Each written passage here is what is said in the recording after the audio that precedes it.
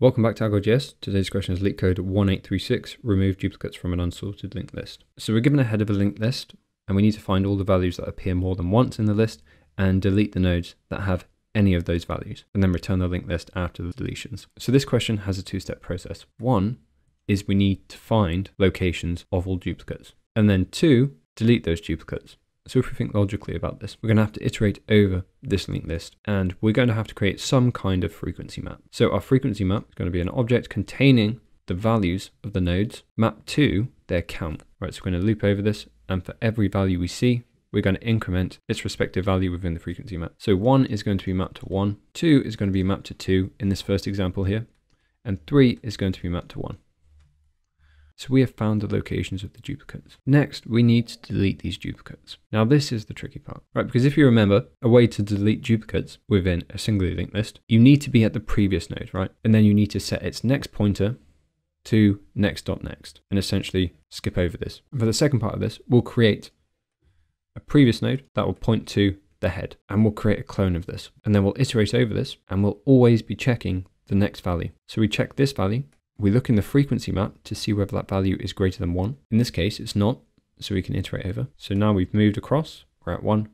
We check the next node. So the node of value 2, we look in the frequency map, 2 maps to 2. So this is a duplicate. So in this case, we set this pointer, we break it here, and we point here. So this has now been removed. We move along and we check the next node value. Again, this is 2, so we look in the frequency map. This is a duplicate. So we set the next pointer here to the next value, which in this case is going to be pointing to null. And what we need to return is the list node that we created that points to the head of this linked list. We need to return its next value. So say this is called prev, we just need to say prev.next. So time complexity for this is going to be O of n, where we loop through this linked list twice, and space complexity is going to be O of n as well, because we are creating a frequency map here. So the first step for this is to create that frequency map. So let's clone this linked list. Let's initialize the frequency map to an object. So while clone doesn't equal null, so not at the end of the linked list, if the frequency map doesn't contain clone.value, so the current node we're on, then we set that value to equal 1, right? So we're adding it to the frequency map for the first time. Else, if it's already in there, then we need to increment that value. So frequency map at clone.val, and we're just going to increment it. And don't forget in here, we need to update clone's position. So we state clone equals clone.next. And this will allow us to exit this while loop. Then let's create the previous node, which is going to point to the head of this. So if we look in the definition up here, we need to create a list node and we can pass in a value parameter and a next parameter. So new list node, pass in the value.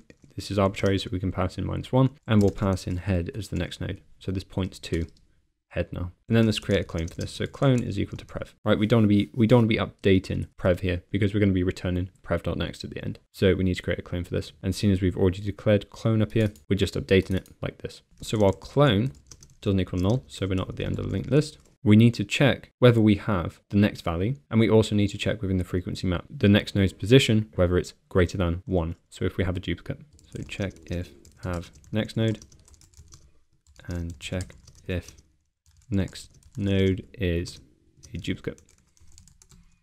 So our clone.next and frequency map clone.next.val is greater than 1, so duplicate, then we remove it. So clone.next is equal to clone.next.next. And remember, if this doesn't run, we still need to update clone, right? So state clone equals clone.next. And at the end of this, we are going to be returning prev.next. Because remember, prev is pointing to the head, and we just want to return the head onwards. Let's give this a run. Submit it. And there you go.